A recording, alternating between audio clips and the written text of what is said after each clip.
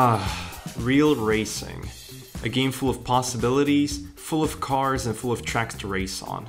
This game has been setting the bar for being the most visually stunning game for a long time now, and no other game has been able to compete in that aspect yet.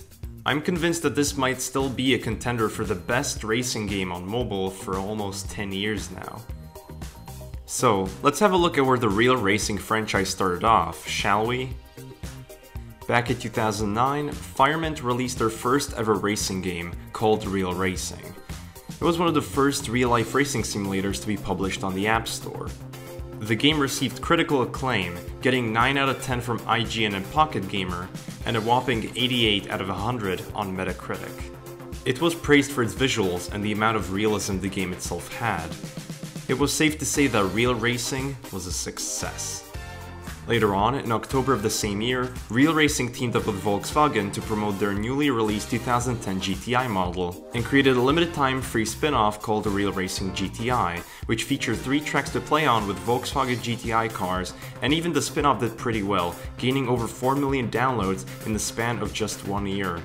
After the successful first game, its sequel Real Racing 2 came a year later in 2010, following even more praise than the original game, getting a 94 out of 100 on Metacritic, surpassing the score for the original game.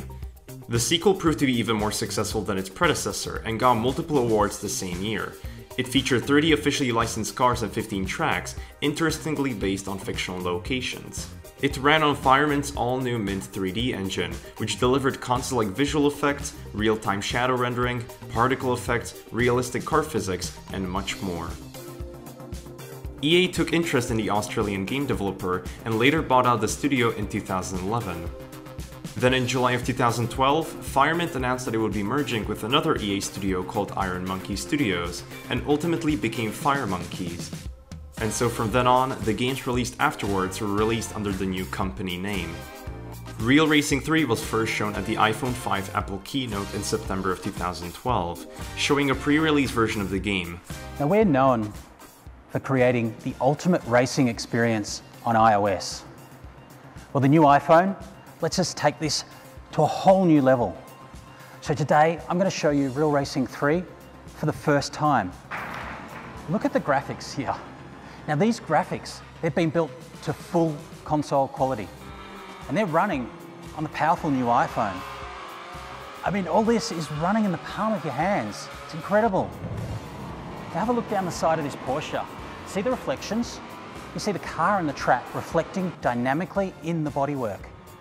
Now this not only looks awesome, but it actually shows you a bit of what's going on around you. I mean, it actually makes the game easier to play as do rear view mirrors. Yes, for the first time in real racing, you can see behind you. It's great. it was supposed to show off the iPhone 5's wider screen and the insane graphics performance of the processor. The game itself became available later in February of 2013 for both Android and iOS devices. Both of the previous games were paid, whereas Real Racing 3 was first to become a free-to-play title. While the game itself first introduced the freemium model, which players of the previous two games were a bit upset about, the game itself left people to be absolutely amazed with how the game looked. They somehow managed to go even further with the visuals. This is the first ever mobile game that actually felt like a AAA title, with realistic graphics and physics, and a lot of licensed vehicles, which basically came very close to titles like Forza 2 for the Xbox 360. What wasn't so close though was Real Racing 3's free-to-play system. The player is required to maintain and service their vehicles, which requires real-world time and in-game tokens, which can be purchased with money. Although the free-to-play model here is pretty obvious, it doesn't distract from the game itself. The cars themselves are really nicely textured, almost making them feel lifelike, and each car has its own unique sound effects, making the game feel a lot more realistic. And if you didn't like the look and feel of your car, you could just hop over into the customization menu and get your car's new sleek paint job, get some sick rims, upgrade your suspension, or put a bunch of stickers on it. The choices here are pretty limitless. The way the campaign works in Real Racing 3 is that you have a couple of different categories to choose from, starting with Racing School, where you get to learn some tips and tricks on how to win races against other players. Once you finish the course, you move up in the ladder, going from the easiest to more difficult races. Now you can also set up your driver assists in the settings. from steering and brake assists to things like traction control and whatnot to help you drive better on the tracks.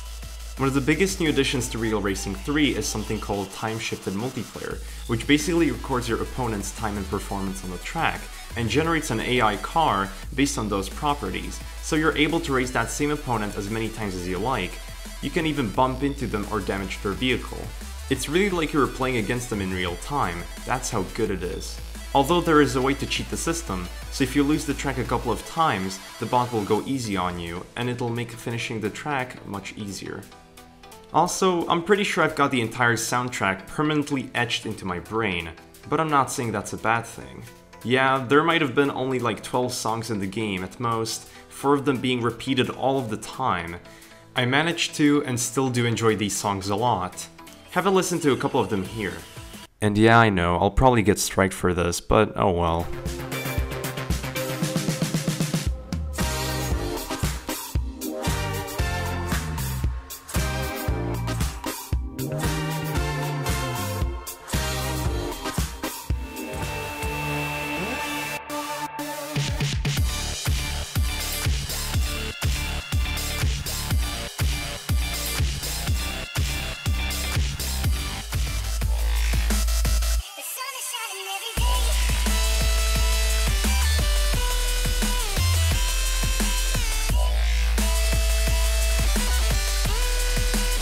As for Real Racing 3, the game still gets updated to this day, and will continue to get more feature-packed updates in the future.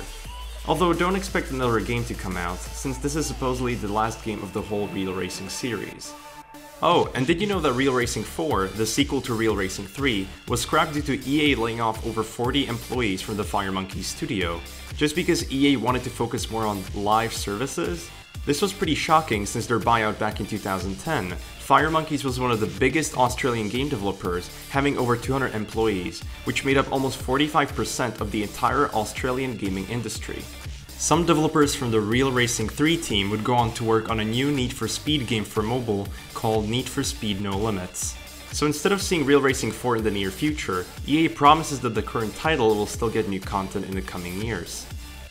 And as for me, this is still hands down the best original racing game made for mobile devices, excluding games on mobile that were ported from last gen consoles.